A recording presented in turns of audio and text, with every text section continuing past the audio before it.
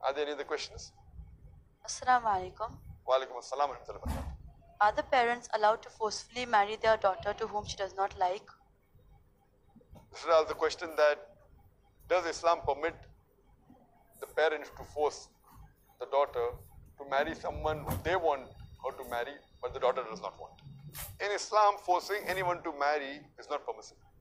The permission or the agreement of both would be husband and wife is very important. Both husband and wife, would be husband and wife, should agree to get married. Then only can the nikah solemnize. Then only can the marriage solemnize. But natural. The parents can guide the children, guide the daughter, give advice, give suggestions. It's good.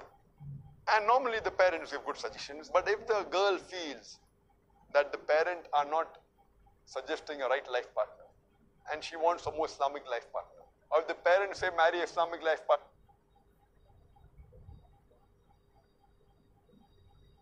partner and the girl says no that I don't want to marry Islamic I want to marry a rich and handsome man rather than Islamic man. So then I feel that the parents are right and in this case the parents will get sawab that they are forcing the daughter to be on the straight path.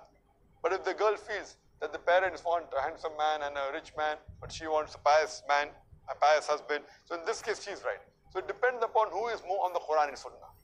But generally a father or a mother cannot force the daughter to marry someone who she does not like because the hadith mentioned in Sahih Bukhari, one number 7, in the book of Nikah, chapter number 69, hadith number 649, that once a lady by the name of Khansa bin Khadim al Ansariya approached the Prophet and said, My father has forced me to marry a man who I don't like.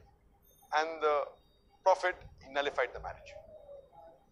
So, based on this, it's clear that the permission and the agreement of both would be husband and wife